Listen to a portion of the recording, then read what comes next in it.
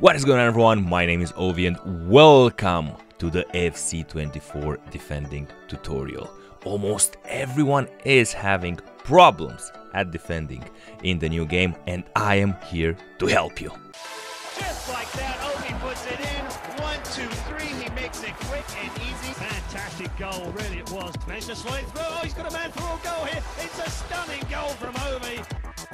If you want to get cheap and reliable coins, go check the best place on the market, fifacoin.com with super fast delivery time and make sure to use the code OVVY for extra discount. Link is in the description. First of all, let's get something uh, uh, straight and clarified. We've got two options at defending in this season. You got the tactical defending and the advanced uh, defending. The difference between tactical and advanced is that at tactical defending, when you press the tackle, the AI will take the decision if it is a tackle or if your player will be pushing the opponent. Advanced defending, you've got different controls for uh, pushing the the opponent or for the tackle against the opponent. That is the difference. At this moment, I'm not using advanced defending, I am using tactical defending. Also, for the basic defending controls, check the playlist in the description because in this particular tutorial, we're not gonna go through those, uh, we're gonna go through the exact we're gonna go through the particularities from FC24. Game is similar in terms of controls from previous season, but scenarios are a bit different this season, and that's exactly what we're gonna focus on on the particular scenarios because that's the best way from you for you to learn.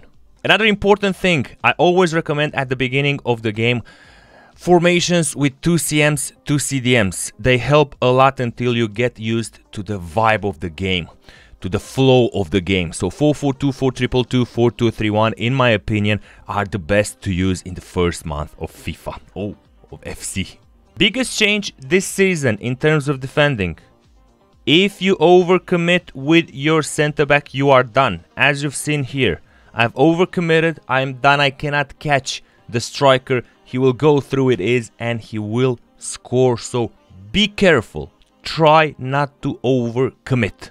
And the trick this season is patience in defense, patient defending. We're just gonna wait out and see what the opponent is doing. We are not going to overcommit. That is the secret at the beginning of the game with FC24. Um, gameplay being a bit slower, more possession style. Do not overcommit. Just be patient.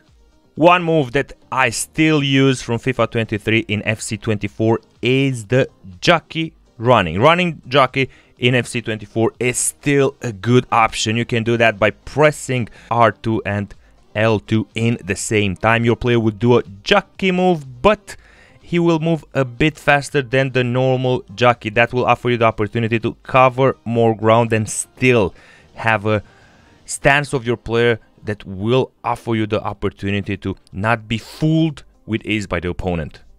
Next, we've got the normal jockey movement combined with a tackle. Why is jockey so important? Well, your player will be moving much better on the pitch, getting closer to the uh, to the opponent and being more aggressive. As you are seeing in this example right here, I'm waiting for the right moment.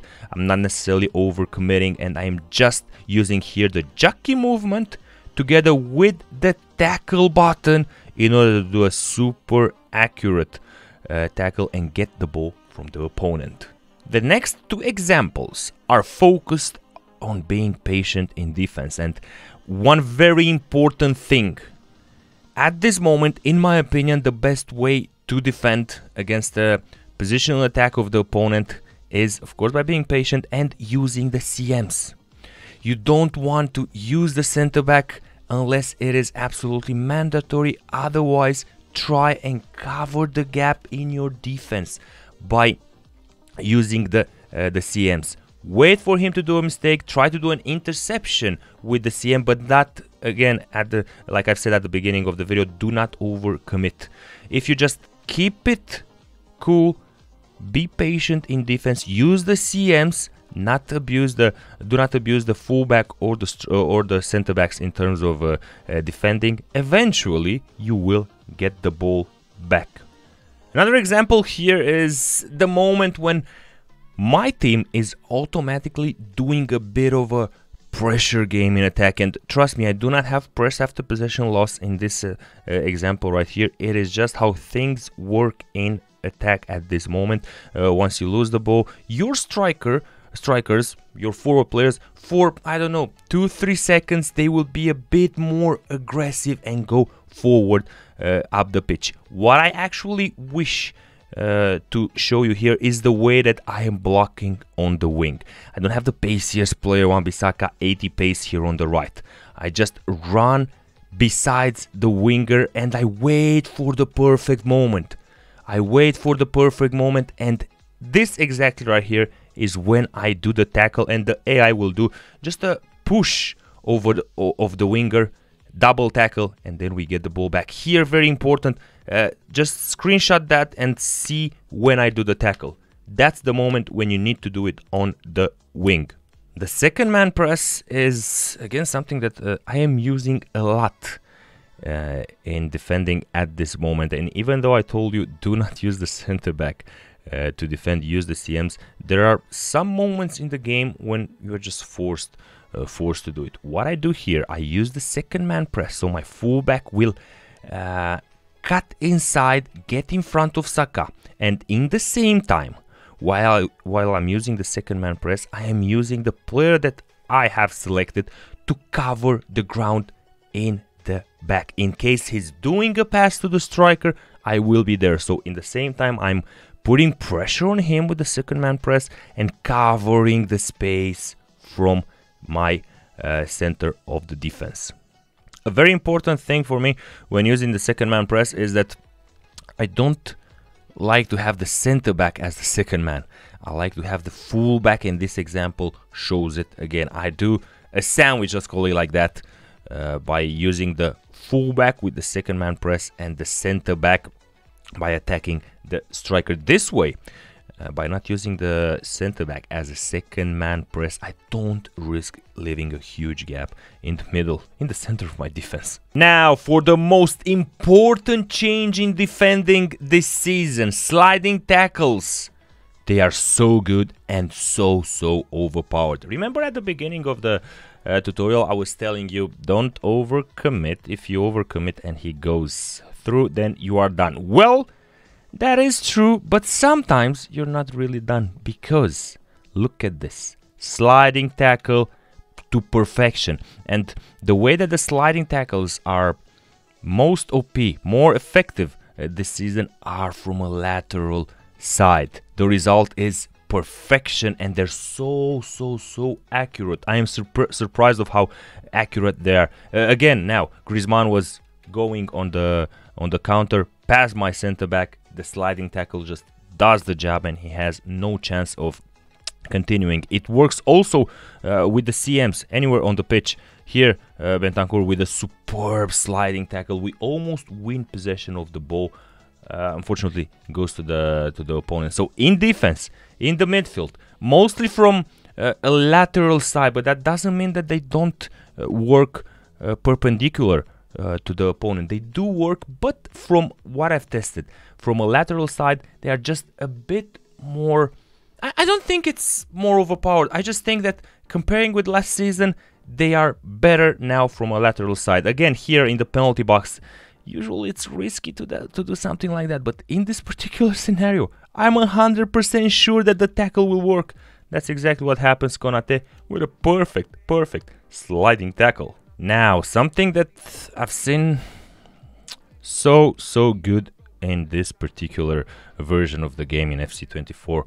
The way that you can pressure at times with the, with the strikers is just overwhelming. As you are seeing here, uh, I'm just anticipating uh, the pass towards Carvajal. Once I see that, I'm two, three meters away already from Carvajal. I do the standing tackle and it works close to perfection. It is actually perfect. We're all alone with the goalkeeper. We win the ball. Uh, aggressive tackles up the pitch are something that you need. You need uh, to work with. You need to try. Like is this example right here. Again, we're pressuring high, and again here the AI does uh, that's the choice between a standing tackle and uh, just pushing the pushing the opponent. This time it will push away the opponent, uh, and we will go all alone from the wing with a pass inside. And eventually, as you're about to see, we're gonna score a simple, simple goal. So, boys, short recap. Go with tactical defending, at least now at this current uh, stage of the game. Um, go with formations with two CMs, two CDMs, 4 4 2 4 2 3 1, uh, 4 triple 2. Those are the safest for defense in the first month. Uh, if you overcommit in this game, you're kinda done, except for the moments when you can catch up with a sliding uh, tackle. Patience is your friend in defending. Use a lot the CM, the CMs, the CDM to cover uh, the gaps in front of your defense. Do not commit too much with the center backs. If you've got any questions, drop a comment below, let me know. This is only the first defending tutorial that uh, I am doing with the most important things that I've noticed that are changed in the current version of the game. Once we find out more, I will of course release an updated defending tutorial. Don't forget to drop a like. My name is Ovvy and I'll see you fellas in the upcoming videos. Bye bye.